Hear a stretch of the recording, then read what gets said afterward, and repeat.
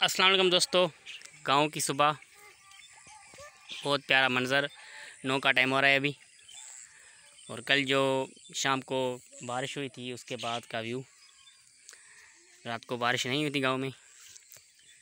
और बारिश की वजह से ये कमात का फ़सल जो है, वो नीचे गिर गया है, बैठ गया है। क्योंकि बारिश होती तो इसकी जो ज़मीन होती है, वो बहुत ही नरम हो जाती है तो इसका वज़न ज़्यादा होता है तो ये गिर जाता है।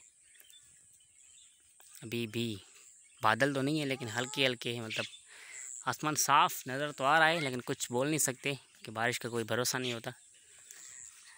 भैंसे आप देख रहे हैं इस वक्त चल रही हैं। ये बच्चे मौसम को एंजॉय करते हुए। और हर चीज़ धुल के साफ़ हो गई है केले की फ़सल। ये रास्ता सीधा जाता है बड़े रोड की तरफ़। और काफ़ी प्यारा व्यू है। आसमान बिल्कुल साफ़। ये बिजली का कनेक्शन। यहाँ से हमारे घर की तरफ़ बिजली जाती है। तो गाँव का माहौल ही कुछ ऐसा होता है, बहुत खूबसूरत सा माहौल होता है।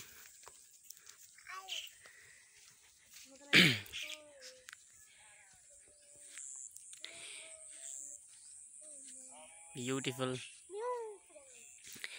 ब्यूटीफुल व्यू है। अगर पसंद आए तो लाइक कर दीजिएगा वीडियो को चैनल को सब्सक्राइब कर लीजिएगा। और कमेंट्स में लिख के बताएँ कि किस किस के गाँव में इस इस वक्त ऐसा व्यू आ रहा है।